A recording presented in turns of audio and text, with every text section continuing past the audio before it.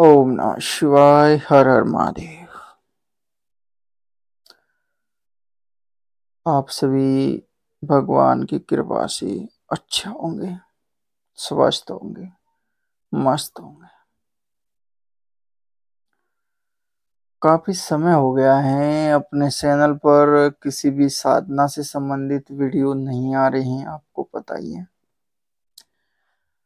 तो जो समय मेरा गुजरा है, इस समय में मेरे भी साधनाएँ हैं, अध्यात्म है, ये समझने को मुझे भी कुछ टाइम मिला। और इस टाइम के अनुसार मैंने भी इस साधना के बारे में, चाहे हो या कोई अपने वास्तविकता के बारे में, यानी जीवन की जो वास्तविकता होती है, उसके बारे में मेरी कुछ खोजबीन हुई। मैंने उसको खोजा। मैंने उस क्षेत्र के बारे में जानकारी प्राप्त की कि हकीकत में जीवन का उद्देश्य क्या होता है, जीवन कैसे चलता है, जीवन के क्या लक्ष्य होते हैं, क्या बनाए जाते हैं, या बनते हैं, या क्या होता है, कुछ समझ में आता है या नहीं आता है। तो इस बारे में मेरी खोजबीन हुई, वो काफ़ी गहनता से हुई भी है। और बहुत से लोगों का जो सवाल होता है ना कि ऐसा करने से ऐसा हो जाता है, वैसा करने से वैसा हो जाता है, ये किया तब हो गया। अगर सही तरीके से माने तो मेरे आध्यात्मिक जो सफ़र है, उसके तरीके से अगर मैं मानूँ तो जो भी सामान्य सोच है वो निर्थक है। क्योंकि अध्यात्म में वो ज्ञान प्राप्त हो जाता है, जिसकी कभी कल्पना नहीं की जाती है। कभी मैंने भी नहीं सोचा था कि ये ऐसी वास्तविकता तक मैं पहुँच जाऊँगा जीवन में, जिसका लक्ष्य कुछ और होगा, क्रम कुछ और होगा, रास्ता कुछ और होगा। और ये हकीकत है आज के समय में, ये सारी ही दुनिया है ना, इससे बिल्कुल मैं अकेला पड़ गया हूँ। अगर मैं इस रास्ते को वास्तविकता के तौर पर अगर अपना के चलूँ तो मैं अकेला पड़ जाता हूँ। और यही मेरा अध्यात्म है और ये मुझे बहुत इंटरेस्ट लगता है इसमें।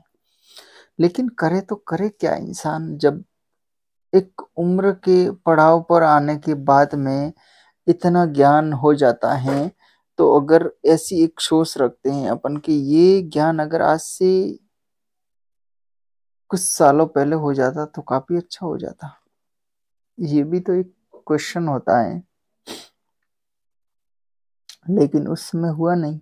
अगर उस समय हुआ होता तो आज के जीवन की मोड़ कुछ और होती। सही है कि नहीं? तो ये है कि जीवन का पहलू, समझना पड़ता है, जो खोज में निकलता है, उसको ही रास्ते का पता होता है। हर किसी को ये रास्ता पता नहीं होता है।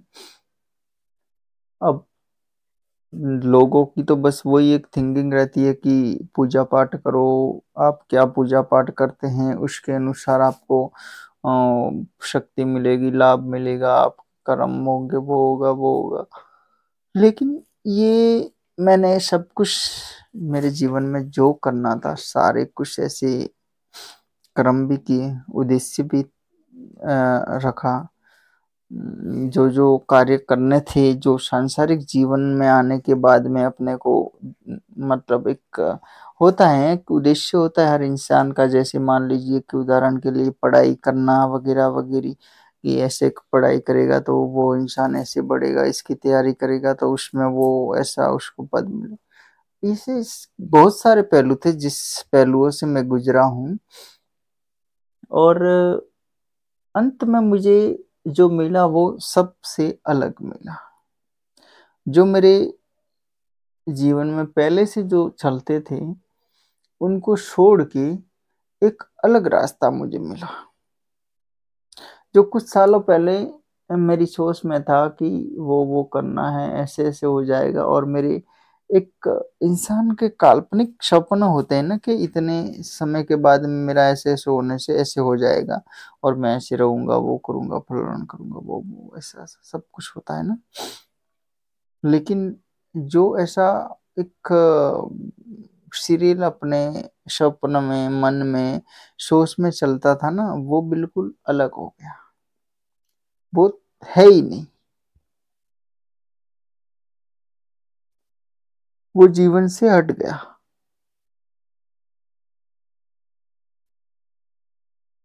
और ये जीवन के पहलू हैं, वो एक कर्म से जुड़े हुए हैं।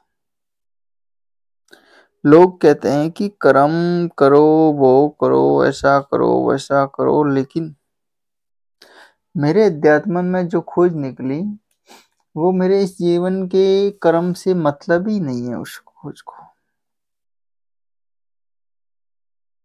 ये एक सच्चाई है। हर आध्यात्मिक इंसान को ये समझ में आता है, जब वो कुछ सालों तक उसमें गहनता से चलता है ना तो फिर अचानक से उसकी खोज की, जो वो खोज के लास्ट में जो दरवाज़ा होता है ना, वो दरवाज़ा जब खुलता है, तब उसको पता चलता है कि यार, काफ़ी दिनों से हम इस दरवाजे के बाहर बैठे थे, पता ही नहीं चला, बरसों बीत गए।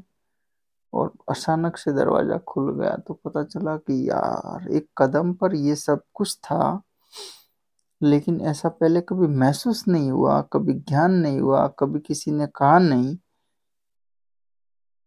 बोलो। कितनी एक तरक की बात है कि इंसान के साथ में ये सारा कुछ घटनाक्रम चलता है और उसके बाद में वो अचानक से एक अलग दुनिया में पड़ जाता है।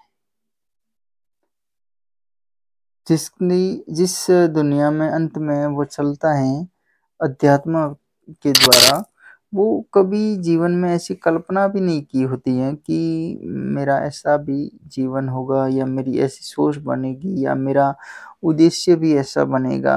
यार, सब कुछ एक अंतिम पड़ाव में सब कुछ जो होता है ना, वो एक जैसे मान लीजिए त्याग कैसे होता है, वैसे मोड़ पर आके रुक जाती है ज़िंदगी।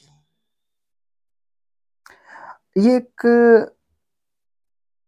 बहुत ही विशेष समय होता है जो मिलता है। हर किसी को नहीं मिलता। आप लोगों का ही कहता है कि, बहुत से कहते हैं कि, यार, ये तो वो पूजा पाठ करता था।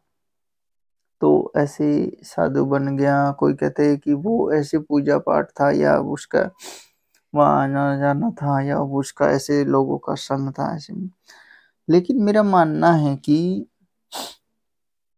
जो कुछ भी होता है ना दुनिया में, उसके पीछे कुछ न कुछ कारण होता है। ये हंड्रेड परसेंट सही है।